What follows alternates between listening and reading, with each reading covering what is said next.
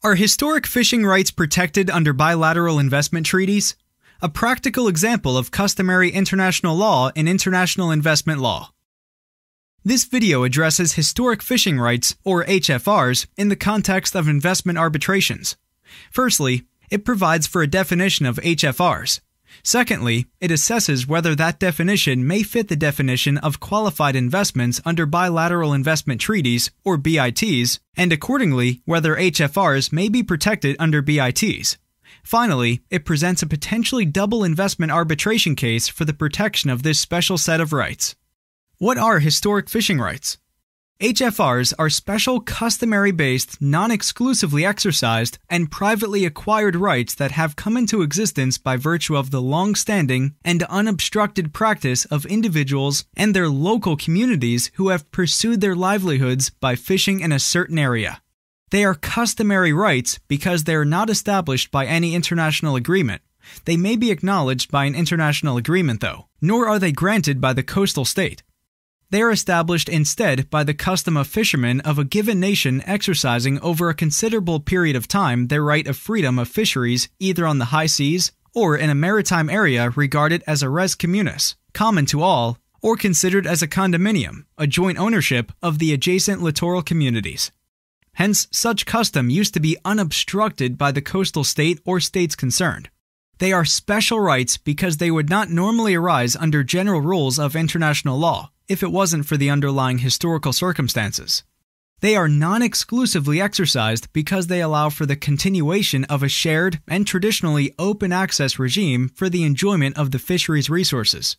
They constitute effectively an international servitude short of territorial sovereignty, according to which the servient state is subjected to the permanent use of the dominant state for a certain purpose. As such, the dominant state cannot rely on HFRs for the purpose of maritime boundary delimitation, also because the state is not the holder of these rights. Instead, they are vested rights of the intergenerational functional group of individuals involved in the fisheries activities. Such rights only indirectly accrued in favor of the state or states whose nationals currently hold these rights thanks to their forebears who have exercised them for a long period of time. Consequently, such privately acquired rights are akin to private property. The crystallization process of HFRs into property rights is a lengthy process that takes place over different generations rooted in local fishing communities who depend for their livelihood on the resources of the sea. Accordingly, such rights have a well defined localized character. A further characterization of these rights is that they are geographically defined by the portion of the sea where they have been practiced. Therefore, these customary rights are unaffected by the maritime zones subsequently established domestically by coastal states' legislations or conventionally set at the international level by the United Nations Convention on the Law of the Sea, or UNCLOS.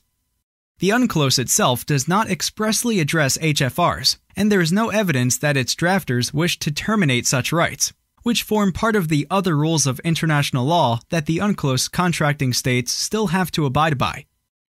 Case law, such as Eritrea v. Yemen, confirms that these rights continue to exist regardless of the maritime zones established by the UNCLOS, both within and beyond the territorial sea or the exclusive economic zone, or EEZ, of coastal states. Do HFRs meet BIT's usual investment definition?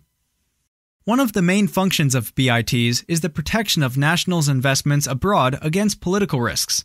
In order to benefit from this protection in a foreign country, such private investments need to qualify as investments under the applicable BIT, meaning they need to meet the definition of foreign protected investments provided therein. Such definition may vary from BIT to BIT. However, it is usually an open ended definition, often clarified by a non exhaustive list of examples of what can be regarded as a qualified investment in the host state. Foreign investors' right to property for the purpose of economic activities, as well as their right to natural resources accruing by law, are virtually omnipresent in any BIT's non exhaustive list. To the extent that HFRs are private rights, similar to property rights, owned by foreign nationals to carry out economic activities in the host state, in other words, the exploitation of fisheries resources in the coastal state for the livelihoods of their right holders, such rights qualify as foreign protected investment under BITs. Being similar to property rights, HFRs might be susceptible of being expropriated by the coastal host state. Tribunals in state to state disputes grappling with these special rights, for instance in the South China Sea arbitration, have emphasized that they deserve a particular protection in international law given their fragility. As the expropriation of property rights by the host state calls for appropriate compensation, the exercise of foreign nationals' HFRs cannot be frustrated by the coastal state without reparation. Should foreign nationals be hindered in the exercise of their HFRs by the coastal host state, they may rely on the investment protection provided by the relevant BIT to claim the compensation due to the expropriation of their property like rights as well as their restoration. A practical example Mazara del Vallo and Marsala, two Italian small coastal towns on the Strait of Sicily, have always been inextricably linked to the Mediterranean Sea, to which they owe their millenary history and economic subsistence.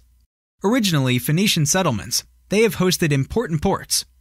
Ever since their foundation, they have kept cultivating their ancient fishing custom and fishmongering tradition as well as investing in them. As early as the 1920s, the individuals inhabiting these communities motorized their fishing boats and applied mechanical power to their fishing gears. Thus, over a century, the motorization of their boats became part of their consolidated fishing tradition and led to a flourishing fisheries based economy. So much so that at the end of the 20th century, Mazara was home to the oldest and largest fishing fleet in the Mediterranean, catching the famous red prawn nicknamed after the Sicilian town itself. The beneficial effects of this fisheries based economy have been spread and shared by these two Sicilian communities with their littoral neighbors, chiefly Tunisia and Libya, throughout the formation of partnerships and joint ventures in the fishing sector. This cooperation has been possible thanks to the common and traditional understanding of the openness of the fishing grounds located in international waters to all fishermen of the littoral communities. Indeed, Sicilian fishermen have been accustomed to exercise their freedom of the high seas by catching in that body of waters of the Mediterranean considered as international waters by the locals. However, over the recent years, at a steadily increasing alarming rate, Sicilian fishing boats and their crews, while exercising their freedom of fishing on the high seas, have been repeatedly subjected to firearms attacks, seizures, kidnappings, and ransom requests by the navies of northern African countries, especially Tunisia and Libya. These measures, directly attributable to the coastal states concerned, are de facto expropriating the local communities of Mazara and Marsala of their HFRs. To this day, there have been overall more than 300 arrests of Sicilian fishermen, 27 wounded, 3 killed, 150 seizures of fishing boats, and the payment of hundreds of thousands of euros to set them free. It has been estimated that the damages caused by such actions to the local fishing sector amount to over 100 million euros. Reportedly, this sector has plummeted by 40% because of the conducts of the adjacent African countries, who are implementing a series of measures tainted with excessive use of force, equivalent to expropriation in relation to the Sicilian fishermen's HFRs. In 2005 and 2009, respectively, Tunisia and Libya declared an EEZ engulfing the portion of the Mediterranean where Sicilians have been fishing for centuries. Such EEZs may be in conformity with international law only if they do not interfere with pre existing HFRs, as these customary rights still prevail regardless of whatever maritime zone may be unilaterally proclaimed. Conclusion Fishermen from Mazara and Marsala may initiate a double investment arbitration against Tunisia and Libya, based on Italy's BITs with these two countries. Sicilian fishermen may claim the damages suffered so far, over 100 million euros, for the expropriation of their HFRs and the restoration of the same. The circumstance that Sicilian fishing boats have been recurrently attacked or seized on Libya's or Tunisia's EEZ is not an obstacle to advocate for the protection of Sicilian fishermen's HFRs before an investment arbitral tribunal. On the contrary, the fact that such international violations occurred within an area over which Libya and Tunisia claim to exercise sovereign rights may ease the application of the relevant BITs, as BITs have a geographical scope of application dependent upon the exercise of sovereign powers. In any case, the geographical scope of application of a BIT may be stretched if the respondent state has unduly exercised de facto transboundary sovereignty. Finally, being HFR's property like rights owned by individuals and local communities, an investor state arbitration may be the most appropriate forum to seek redress, rather than having to resort to a state to state arbitration.